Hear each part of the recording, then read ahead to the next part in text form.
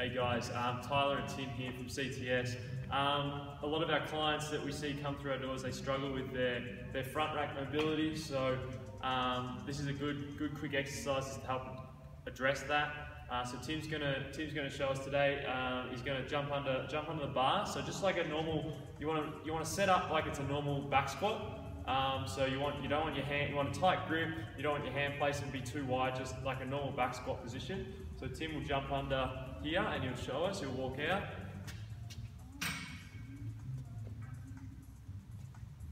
All right. So Tim's um, standing with the bar, uh, how he would with a high bar back squat. Now from here, he's going to, without, without opening up his ribs, without extending through his thoracic, he's going to open up, bring up his elbows, keeping a full grip on the bar. He's going to bring up his elbows as high as he can.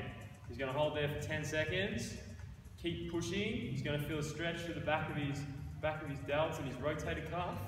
And relax.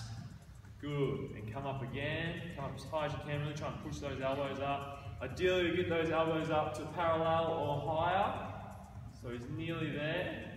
And relax. So that's that's a really good stretch. Obviously, the, if you can get that up from the from the back there, um, when you're in your front rack, you're going to be able to get those elbows up higher. A couple of mistakes would just be opening up the ribs too much. So people trying to get too much, trying to get the elbows up from not actually stretching the shoulders, but from extending the thoracic um, thoracic spine. So Tim demonstrates that. He's really pushing his chest up high, which is not, it's really defeating the purpose of the exercise.